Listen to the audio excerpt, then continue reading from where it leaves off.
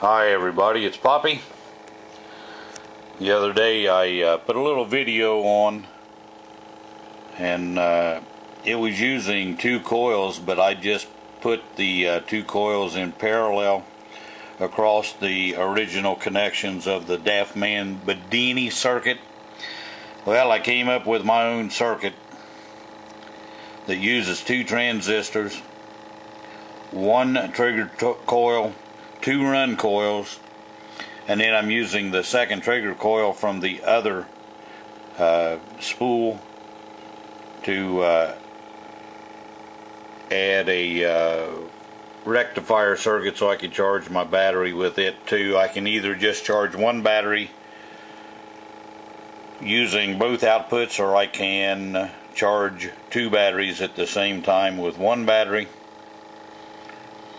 and it buzzes. You can hear it if, if I get down here close enough you can hear this thing running.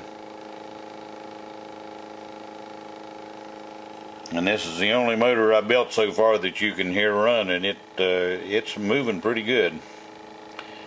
So it's got uh, one trigger coil two run coils.